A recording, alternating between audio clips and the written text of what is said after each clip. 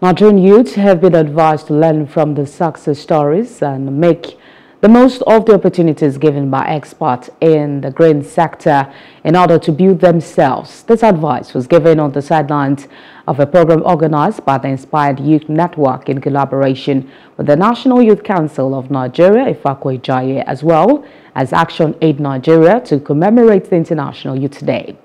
Team lead of the SPA2 project of the IYN, Oluwatoyin Adejokun, said the International Youth Day, which is themed Green Skills for Youth Towards a Sustainable World, aims to empower young people with necessary skills to become change makers.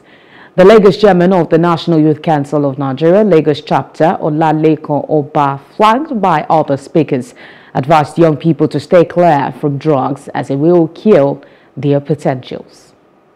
Okay, for me, I would say I'm very impressed about how um, young people have taken advantage of um, International Youth Days to celebrate young people. Because um, if you um, if you compare now from the time past, you discover that youth programs have not really been something people talk about. But recently, we've been having a lot of youth programs, entrepreneurship, agriculture. Um, in fact, we are even presently reviewing the state policy on um, young people. So I think um, people are now um, making statements about celebrating young people and then building their capacity in order to strengthen the economic of Nigeria. Uh, stay out of drugs.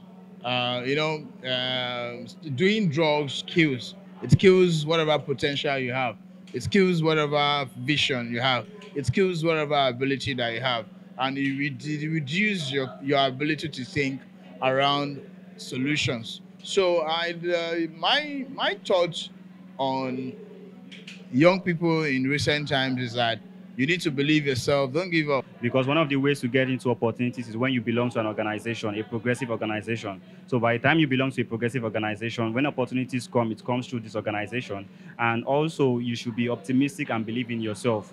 Uh, age doesn't age doesn't mean you are you are finished. Even if you are at the peak of your youthful age, then you still have so many opportunities out there.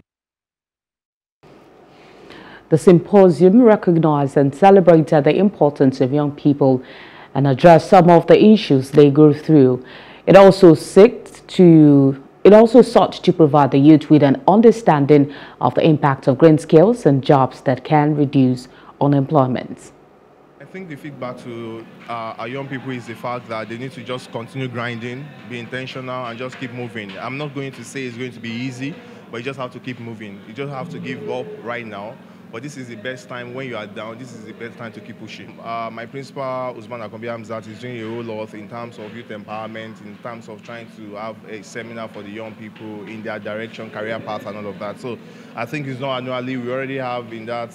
Um, that happening in the local government, right? So this is just for us to celebrate International Youth Day. 2015, I made up my mind that I was going to leave Nigeria, right? In 2015, 2016, 2017, many of my friends built the most successful technology companies in this country. And that is why I'm back home. You know, where there are problems, there are opportunities. As a young person, don't just spend your time and your life complaining about what is bad in your country.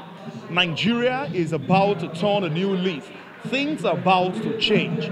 There's a renewed hope right now there's a new president who is super smart, who is super intelligent. Position yourself. Hello. Hope you enjoyed the news. Please do subscribe to our YouTube channel and don't forget to hit the notification button so you get notified about fresh news updates.